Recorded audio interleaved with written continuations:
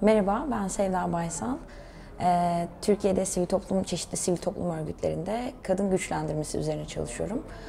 Ee, ayrıca da dünyayı gezen bir gezginim. Türkiye'de bir sivil toplum örgütünde genç, genç kızları güçlendirme programı üzerine çalışıyorum. Aynı şekilde e, aynı alanda çalışan, genç kızları güçlendirmek üzere yaz kampı yapan e, sivil toplum çalışanlarıyla tanışma fırsatı buldum. Karşılıklı bir toplantı yaparak e, tecrübelerimizi paylaştık. Benim için çok değerliydi, çok da ilham vericiydi. E, benim için komik olan e, bir hikaye paylaşmak isterim. Youth Initiative Center'a vardığım gün, maalesef ki bir gün geçirebildim orada. Tam da o gün bir Türkçe dersi vardı.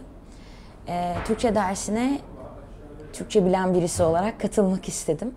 Ee, Türkçe öğretmeni daha önce 5 sene Türkiye'de yaşamış ee, genç bir öğretmendi. Ee, Türk Türkiye'de hani akademik olarak değil ama yaşarken Türkçeyi öğrenmiş ve yaklaşık 40 kişinin Türkçe dersine YIC'de e, katıldığını öğrendim düzenli olarak. Derse katıldığımda bazıları yeni yeni Türkçe öğrenmeye başlamıştı. Öğretmen ise Türkçe biliyordu, bazıları İngilizce biliyordu. Farklı dillerde e, kültürel değişimlerden bahsettik.